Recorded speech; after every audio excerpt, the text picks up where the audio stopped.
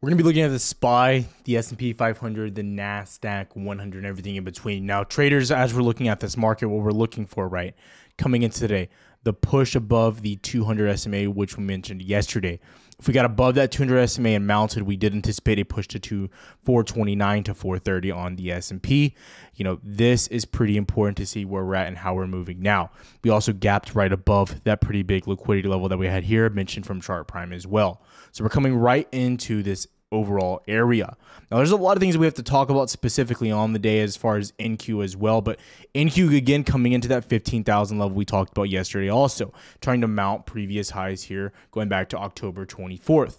So, again, we have a lot to discuss, but ultimately, there's some big trades that are setting up almost perfectly that we're very excited to discuss. But before we jump to anything, I do want to say right now, you need to start focusing on having a plan. Now, I'm seeing a lot of comments down below, and I want to say one thing before we jump into equities, you talk about Apple, Tesla, whatever else is at play here, right? Understand how equities move, right? Depends on what's happening with futures. If you don't have a plan regarding SPY, QQQ, NASDAQ, S&P 500, whatever you're watching, you need to understand how those are moving because that's going to carry the weight of the market.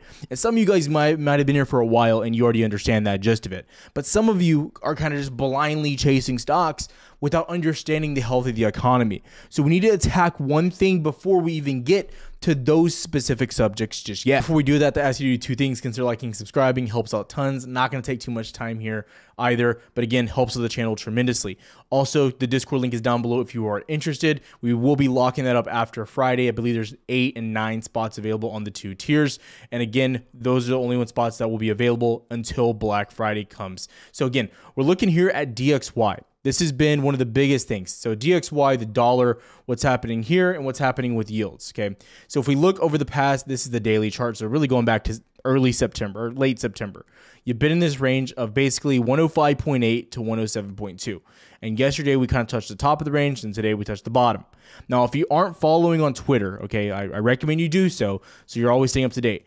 8:03 a.m. Dollar and yields getting destroyed, more fuel for a bull case. Okay, the dollar now, where did we come down to here? And I don't love using small time frames, but you have to in order to see where we're at. Okay, so 8 o'clock, 8.30, we touch the bottom of this range and we're bouncing off of it. Now, what I am looking for is do we continue to put in lower highs here? Right? Do we continue this overall trend to push down? Because this continues, you will push down. We also mentioned what Gundlach said yesterday, right? What's happening with yields? Because ultimately, yields are what's fueling this dollar push here, right? So if we look at what's happening with yields, he called, right, for the bottom of the bond market. Right. And he's been pretty on the money. I don't want to blindly follow anyone. Don't blindly follow me. But he's been one of the best, I would say, analysts when it comes to that side of the market. We look at the two year yield, right? And let's go to the daily. I strongly recommend focusing on higher time frames here when you're looking at yields and the dollar, okay? The daily and what's happening here on the two year. You broke below our key level here, mentioned by Chart Prime right here, coming right into it, rejected, or you fell through, and you're testing it right now. The five year, a lot weaker. Now, what I'm looking here across the board is can we break back below last October highs? Okay. It's worth mentioning we also did top out in October of 2022. Okay. So the five year, we want to break below that line. The 10 year, we have a lot more ways to go, but you want to get back below those October highs there as well. The 30 year, even more room to go. So you, you have to see this, right? We, we aren't at that level of confirmation just yet but we're seeing things start to align with the viewpoint here. Okay. So that's what you want to see. And in order for this to go well, in order for, in my opinion, bulls to really take control, I think you got to get below these massive levels. Okay. Because this is what's going to depend and really start to at least pull down some of what's happening with yields and you know start to at least get their bond market to recover. Now I understand the bond market might be a little bit confusing for some of you, but ultimately this is one of the major things that the Fed even mentioned at the Fed meeting. They said, and they added to the Fed statement, right? Financial hardships. And then Fed Powell went on a tangent explaining how yields are helping them do their job where they don't have to raise rates. So the question could be asked is it good, is it bad for the economy? Um, ultimately, it's going to cause more constraint. When yields are higher, it's harder to borrow money. It's it's what's causing what's happening to the mortgage market, being at over 8% right now. It's all happening. We saw mortgage rates rise and start to spike once we had the breakout on yields. So again, that's the direct impact that it's having, just so you know. But I want to jump into something else that happened today with Apple earnings and ultimately moving into next week. A few things. So Apple reported earnings and they really never give guidance. So they're not going to give forward-looking statements or anything along those lines. And some of you are saying, well, well Tyler, well, why not? Well, Apple, I, they're better than that. I, I honestly, I, I couldn't tell you why. So Apple, they did beat on EPS and they beat on Q4. Now, what you're really looking at, what's happening here, is what's driving this. We knew services would carry, and services are what helped beat on revenue. But revenue is still declining. That's what you have to understand there. Now, they're also going to get, they, they might, I can't tell you for sure, and we don't know just yet because the price is still kind of coming down here. But we really want to know what's happening with iPhone sales and what's happening with future Mac sales and kind of giving an outlook there. They're pretty like give or take with what they give us information wise, uh, but right now you're only down at 175.9. So again, like I said yesterday, um, I'm on a little bit of a little bit of a tear right now. I, I anticipated a less bullish reaction from the Fed. Number one. And then I also anticipated Apple to really shoot down. But the thing with Apple is now you're above major, major supports. When we were calling for that downside, we were below the 200 SMA and 171, right? And we were below the other massive level we've been talking about right here, the 174 level. We've been trading 174 on and off for almost two, three months now. Every time you get below this, it's weak. It's weak, right? But when you remount this, it's, you know, we went long back here you went long above 174 here, congratulations. You probably printed it today. But those are things you have to be looking for. So the question here with Apple, no matter what happens here with earnings, is can you hold 174? And if you hold 174, it's still good. Like it's just the reality of the situation. I don't think fundamentally they're strong right now. I'm going to tell you. I think there's a lot better companies, and we're going to go into detail what and why and what I'm looking at there, right? But what you're looking at now is probably some downside into the to this 174 level. If it breaks, you will test the 200 SMA. I'm very positive of that. But as of right now, with the strength of the market, I would have to anticipate you try to hold this, right? Even with, unless they come out and just say terrible things, right? You know, last earnings was as bad as it could have been. So, you know, we're looking at it now. And, so far, they haven't said much that warrants major downside. they continue to say the things about the iPhone and overall sales in China, you will break down below. If they don't say that news, you will hold this 174 line. Now, also, too, it's worth mentioning. So far, the market's holding up despite Apple's earnings. Now, I said yesterday, because of how bullish you were, and you weren't even above the 200 SMA yet, but the fact that you're even here at 430 now, you know, these are things we have to consider. I don't believe Apple is going to be the standalone that can pull the entire market back. I just don't think so. Okay. There is a gap. I see it. I acknowledge it. Yes, I see it. But that being said, I don't know if Apple's going to warrant the breakdown here because everything else across the board is beating. Apple's like the one dark horse here, right? So these are things we have to consider. Also, we go into IWM, which has been one of the best metrics of risk on versus risk off, right? And when you see IWM, you are trying to reclaim 170. IWM reclaims 170 and you're back in business. And if I give you a visual here, you go to the daily and you can see basically it's lying like right here. This has been where we've been balancing all year. We've had a few traps on some shorts down here. We have that trap down here where you broke 2022 lows, right? Almost got us, right? If you get back above 170, high possibility we're back in 176, 177 quickly at that. And then you're looking for the 200 SMA, but we're just not there yet. Now, the biggest thing that I'm watching as far as indexes before we go into any equities is the NASDAQ. NASDAQ tomorrow is going to be very key and really over the next few days and weeks, right? So, the NASDAQ, the ultimate level we've been looking to see can we test? Can we mount? Can we get to this level, right? Is right about here. Can we get above 15.4 and can we mount this level? That is like all i care about here. I need to see it. That's what we want to see. And ultimately that's going to depict if we can retain this bullish movement right? Until then this is like the top of the line for any type of upside pushing back into this range right? So you're kind of restricted at this 400 point upside which is still nice and you still can make money on that opportunity. But if you get above this let me show you what you're looking at. At that time in my opinion then you come to the point of possibly breaking structure and breaking trend, right? Getting that clear cut breakout of the overall structure, which again would line up. Now, again, you would break that at 15 too, but I want to see a clear cut break of that major level, which is again pointing out here on Chart Prime as well, right? These are all levels lining up. Now, if you're new and you're wondering about Chart Prime and what's happening here, Chart Prime is something we partner with and they give you indicators on TradingView, right? It's a straight plugin, but they give you access to all of our custom indicators as well. And we're now working on a new one to give you even better levels also. So by Black Friday, we should have it. It's going to be our VRVP, which is going to show you supply and demand levels, almost drawing them for you immediately also showing you illiquid areas. So you're going to get our custom volume indicator down here and the chart prime indicator, the market dynamics pro, which shows you all the major levels. And it can also do the charting and, you know, showing you all your channels as well. But again, right, that link is down below if you are interested. So that's what we're looking at here on the NASDAQ, right? But you guys are probably more interested in equities. You're like, what do we trade, Tyler? I'm, I'm tired of this mumbo jumbo. Okay, number one, I want to jump into something like Tesla. Now, Tesla, let's talk about Tesla and where you're at and how you're moving. So, we mentioned yesterday very specifically pushing into this major level, right? We wanted to get above 207. Above 207, we said highly likely pushing to 218. We're the 212 region here also. You came to 212, back into it, mounted, pushed into that level today. Now, I do want to discuss a little bit about this, but when what were the options we were looking at here? Right here, Tesla. We were looking at these Tesla options that we mentioned yesterday. Okay. This is very important to mention, right? So we're going to go here, go to Tesla, trade Tesla. I'm going to show you just so you guys can't say I'm tweaking anything, manipulating anything. It's also all posted on Twitter. So make sure you check that out as well. Uh, but as you can see here, we were looking for the Tesla, uh, I believe December 15th the two 15s and those were about a thousand dollars yesterday and so you look at what happened today continue right they were got to highs of I believe like 1700, right? Uh, we also posted those again. They were all on Twitter so everyone could see. But that's where they moved. So they almost went up almost 50 to 60% just on the day right? We also showed you some other safe positions you could take, and this is Options AI, the proud sponsor of our channel as well. But let me just go a little bit into detail of what we're looking at here. Now, I never like to just throw at equities because if I mention a trade or I mention an idea, people just take it and they run with it. They don't really listen and they don't really look for the resistance, the key levels, and ultimately how you're going to make money on that position, right?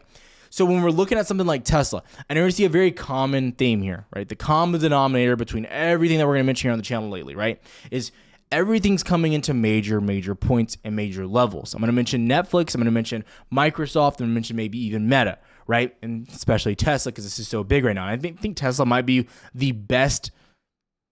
Tesla or Nvidia might be the best upside opportunity over the next few days based on shorts that have been stacking into these positions. And this is why we weren't going short at those lows.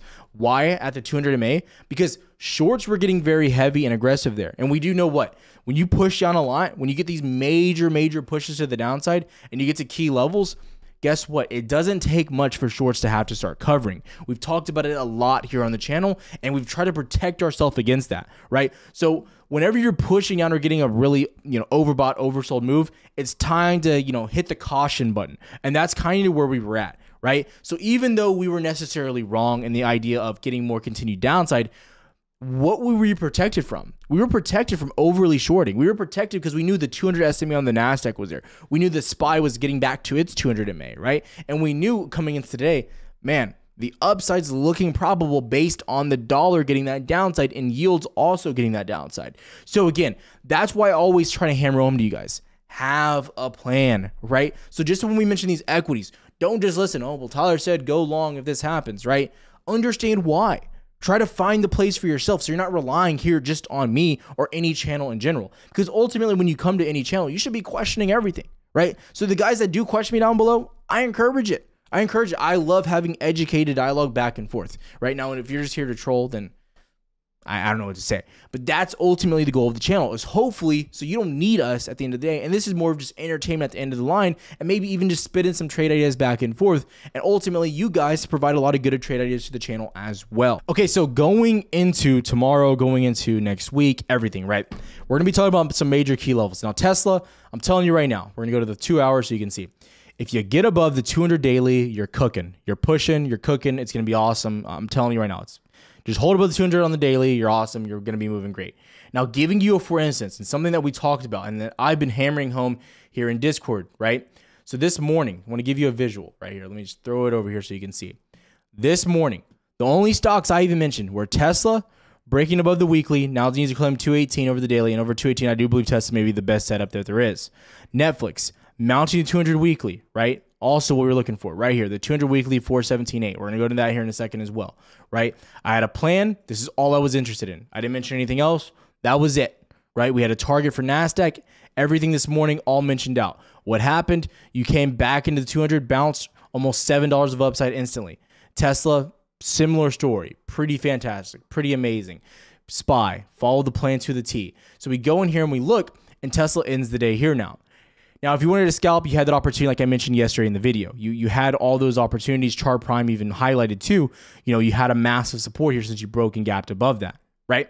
So when we look at this, I want you to understand what we were looking at. Once you get over 212, that also midline support, you pushed into that very easy, very simple trade.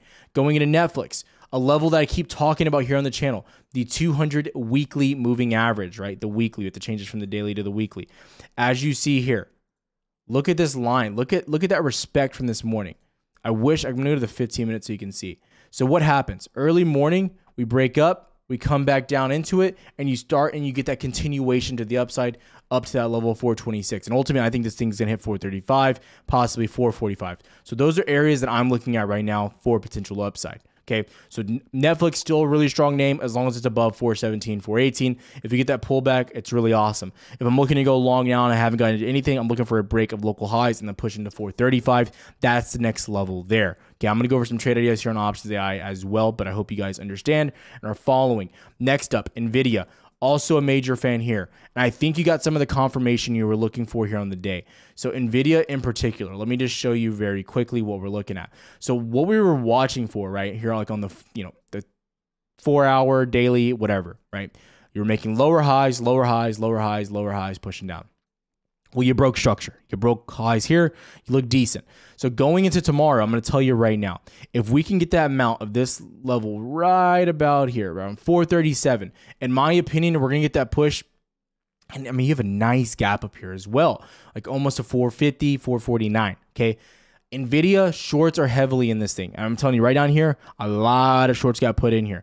You can also look at volume. What's taking place down here is volume started to stack up when we were at lows, which is another sign of a reversal. So these are things that you have to be paying attention to. So Nvidia as well.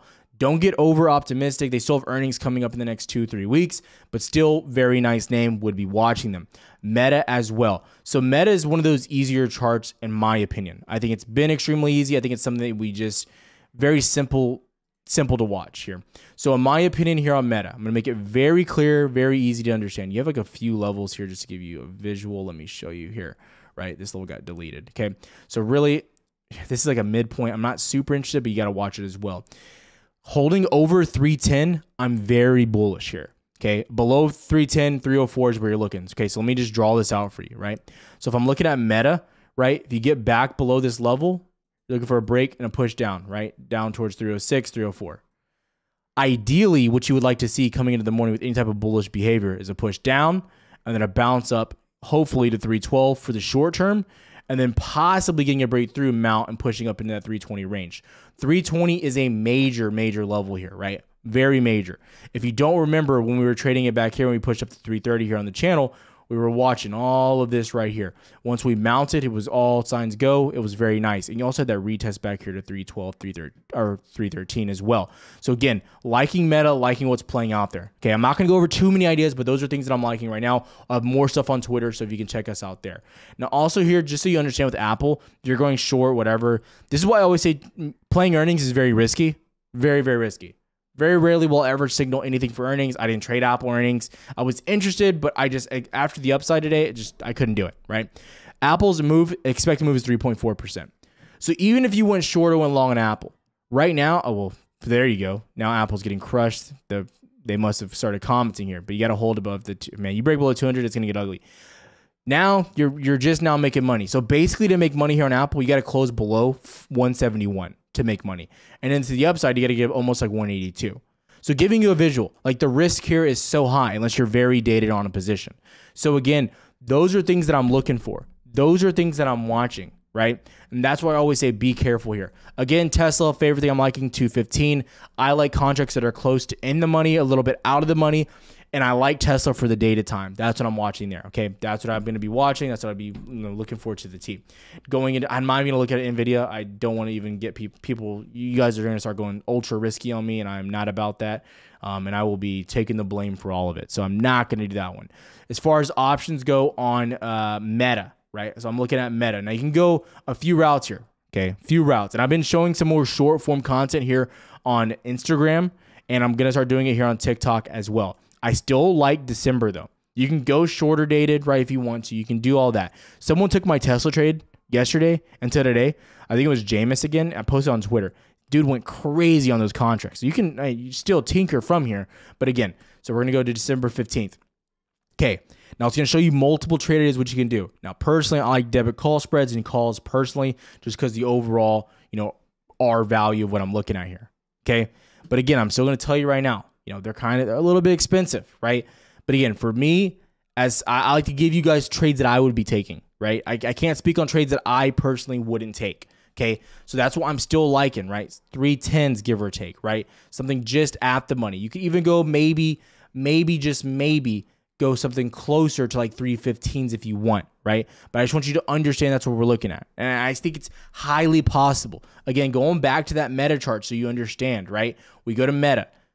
I mean, you've seen very volatile days here. Meta is a very volatile name. The stops here would also be very tight. If you get under the 310 level, I mean, it's a stop. You break local lows at 308, stop out. The upside potential 318 and then into 320 plus. Very nice. That's what I'm looking for. That's what I'm trading. If you have questions, comment down below. The Discord link will be expiring again. It will not be here after, or will just be full come uh, after Sunday, or maybe even before that the spots sell out. Like, subscribe, do what you got to do. Have a good one, guys.